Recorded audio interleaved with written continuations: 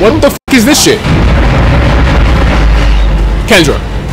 Oh my god. Kendra. It's headed right for us. Yeah, no shit! I think